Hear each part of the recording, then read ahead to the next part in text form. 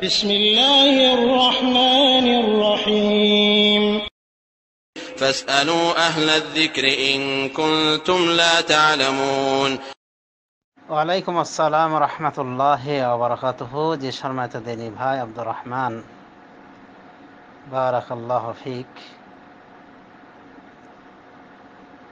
আপনি কাবলাল জমা চার রাকাত সালাদ বিষয়ে জানতে চেয়েছেন এবং আমাদের যে দেশি তরিকায় এই সালাদ পড়া হয় সেই তরিকাটাই আপনি তুলে ধরেছেন। যে এইভাবে পড়া হয়ে থাকে। অর্থাৎ আমাদের দেশ সহ ভারত উপমহাদেশে যেহেতু হানাফি মাঝহাব চালু রয়েছে, তো হানাফ ওলামা কেরামদের নিকট এটাই মানে তরিকা মামুল হয়ে আসছে যে তারা রাসুল্লাহ সাল্লাহ আলহিহাসাল্লামের যে সন্ন্যতি খোদবা ছিল, তার আগে তারা বয়ান দেন। চেয়ারে বসে বা মেম্বারে বসে বসে বসে এক কথায়, দাঁড়িয়ে নয়। এটাকে তারা বয়ান বলেন। এটা মূলত খোদবা হিসেবে তারা গণ্য করেন না। তো বয়ান দেওয়ার পরে আজান দেওয়া হয়। এটা সম্ভবত ডাক আজান হ্যাঁ এই আজান দেওয়া হলে চার রাকাত সন্ন্যাত সবাই আদায় করে। এটাকে তারা বলেন কাবলার জমা। এরপরে আজান দেওয়া হয় খুদবার খতিব সাহেব মেম্বারে উঠে দুটো খুদ্া পাঠ করেন। অর্থাৎ খুদ্া পাঠ করার পরে মাঝে বিরতি দেন। এটাকে আমরা প্রথম খুদা বলতে পারি। এরপরে উঠে আবার খুদ্া কমপ্লিট করেন। এটাকে আমরা দ্বিতীয় খুদ্া বলতে পারি। এই হলো আমাদের ভারত ভারত উপমহাদেশের তরিকা। এবং তারা যেখানে গিয়েছেন এবং মসজিদ কর্তৃত্বে নেতৃত্বে পেয়েছেন, তারা এইভাবেই সালাত আদায় করে থাকেন জমার পূর্বের চার রাকাত। তো এখন প্রশ্নে আমাদের আব্দুর রহমান ভাই করেছেন যে চার রাকাত বয়ানের পরে আজান দেওয়া হয়, এরপরে চার রাকাত সবাই পড়াতে। এমত অবস্থায় আমরা কি করব। আমরা বসে থেকে কি করব। নাকি আমরাও পড়ব? তো যদি ভাই আব্দুর রহমান আপনাকেই বলছে, যেহেতু প্রশ্ন আপনি করেছেন, যে কাবলাল জমা ধরা বাঁধা কোনো সন্ন্যাহ নেই। যদিও আহনাফ ওলামা কেরাম তারা এদিকে গিয়েছেন এবং জোহর ওপর কেয়াস করে তারা এমনটি বলে থাকে অন্যভাবে আর খান হাদিস উল্লেখ করে থাকেন যে হাদিসটা মূলত জয়ীফ, সোনানগঞ্জের হাদিস।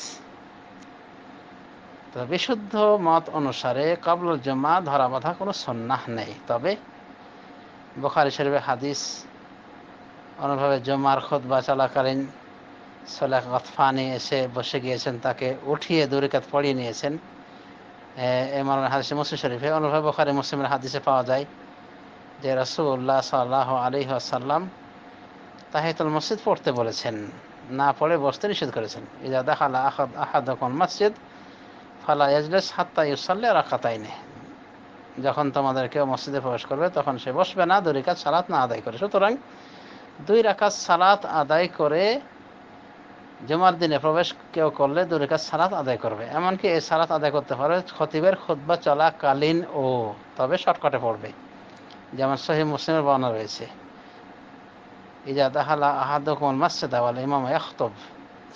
ফালিসালে রাকাতাইনি ওয়ালা তাজাওয়াজ ফিহিমা যদি কেউ মসজিদে প্রবেশ করে ইমামের খুতবা দেওয়াকালীন, তাহলে সে দুরিকাত সালাত যেন আদায় করে, সংক্ষেপ করে। মুসলিম শরীফ হাদিস, জাবের সূত্রে বর্ণিত। তো এই দুরেখাত সন্না দুখল মসজিদ বা তাহিদুল মসজিদ হিসেবে পড়বে। এরপরে সে স্বাধীন। যদি সে ইচ্ছা করে নকল সালাত আদায় করবে দুরিকাত দুরিকাত দুরিকাত দুরিকাত করে, যত পারে। কোনো ধরা বাধা নেই। আর কাবলা জমা বলে, সন্না প্রমাণিত যেহেতু নাই, ওটা নিয়াত করবে না। আর কাবলার জমা যে সন্ন্যাত নাই, বিষয়টা কিন্তু স্পষ্ট। হাদিসের ভাষায় এসেছে ফাইসাল্লি মাকদ্দের আল্লাহ সে এসে নামাজ পড়বে, যা তার তাকদিরে কোলায়। মানে যতটুকু তার তাকদিরে কোলায়, যতটুকু তার সামর্থ্যে কোলায়। মানে সে স্বাধীন। আর কাবলাল জমার জোহর ওপর কেয়াস করে এটা চালু করা ঠিক নয় বা জয়ী হাদিসের উপর নির্ভর করে বলাও সঠিক নয়।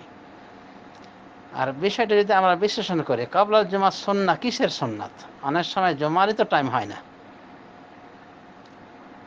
পক্ষান্তরে একজন সকাল দশটার দিকে যেতে পারে। সকাল সকাল দশটা গিয়ে ও কবলার জমা কি পড়বে? তারপরে মূল নামাজের টাইম না হতে কি তার সন্ন্যাত শুরু হয়ে যায়? আমরা লক্ষ্য করে দেখি জহর নামাজের পূর্বে যে চার রাকাত, এই রাকাতগুলি অনুভাবে আরও অন্যান্য সন্ন্যতগুলি মূল নামাজের টাইম হওয়ার পরে তখনই আমরা আদায় করি, অর্থাৎ আজানের পরে আমরা এগুলো আদায় করি।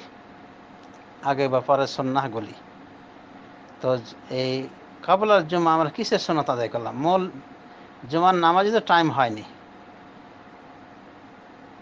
তাহলে আমরা কিসের কাবল জমা জমা আদায় করে থাকি? তো আমাদের নিকট এটাই শুদ্ধ কথা, সহি কথা যে কবলার জমা ধরা বাঁধা কোনো সন্ন্যাহ নাই, সহি হাদিসের আলোকে।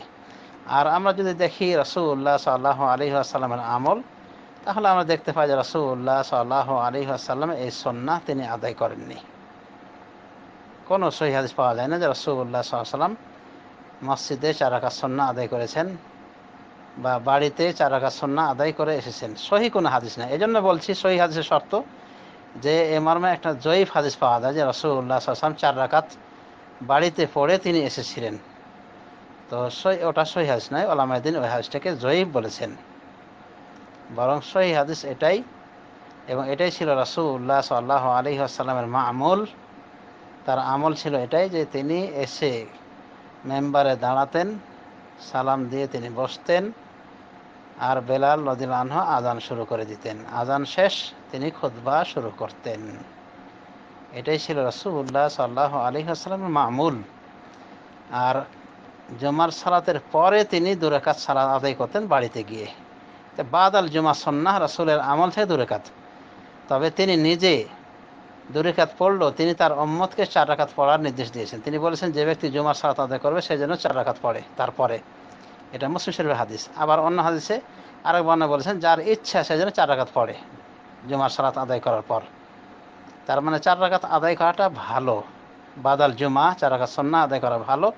দুরেকাত আদায় করলেও ওটা রাসুলের আমলের সাথে মিলে, যেহেতু তার আমল দ্বারা প্রমাণ। বিশেষ করে বাড়িতে গিয়ে কেউ কেউ বলেছেন যে বাড়িতে যদি পড়ে দুরিকাত আর মসজিদে পড়লে চার রাকাত। আসল কথা যে চার রাকাত পড়াটা হলো উত্তম সর্বাবস্থায় যেহেতু তার কওলি হাদিস দ্বারা এটা প্রমাণিত।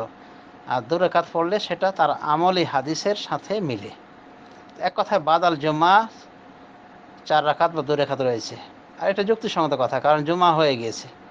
আর কাবলাল জুমা, জুমার টাইম না হতে কাবলাল জুমা চার রাকাত সনাত পড়লাম, দশটার দিকে এসে, এটা কেমন কথা? তো সহি মতে কাবলাল জুমা ধরা বাঁধা কোনো সন্ন্যাহ নেই, নফল রয়েছে। আর বাদাল জুম্মা সন্না রয়েছে, সেটা চার রাকাত উত্তম দুরিকাত জায়েজ। হাজা আবিল্লাহ তৌফিক ওসলাল্লাহ আলা নবী মোহাম্মদ আলা আলহি ওসহাবি আজমাইন। আর আব্দুর রহমান ভাই সহ সহি আকিদার যারা রয়েছেন, তাদেরকে বলব যে আপনারা ওই সময় ইচ্ছা করলে কোরআন তেলাওয়াত করেন, জিকির আজগার করেন, মানুষকে পরোয়া করে কি করবেন? আপনি যেটা বিশুদ্ধ হিসেবে জানেন সেটা কি কামড়ে ধরেন, সেটার উপর আমল করার চেষ্টা করেন। এরপরে যদি ইচ্ছা করেন যে আরও নফল পড়বেন, ওই সুযোগে নফলে নিয়ে পড়তে পারেন ইনশাআল্লাহ। তবে মানুষের ভয়ে কোনো কিছু করার দরকার নেই। আপনি ইচ্ছা করলে বা আপনার ইচ্ছা করলে ওই সময় কোরআন তেরাও জিকির আজকাল ইত্যাদি করেন। আরও অনেক এবদবন্দিকে রয়েছে, সেগুলি পড়েন। অনুভব সোরা কাহা পড়া তো একটা সন্না জুমার দিনে, সেটাও পড়ার সুযোগ নিতে পারেন। তো এগুলিতে সময় পাশ করতে পারেন। জাকুমুল্লাহ খায়রন বারাকাল্লাহ ফিকুম। আসসালামু আলাইকুম রহমতুল্লাহ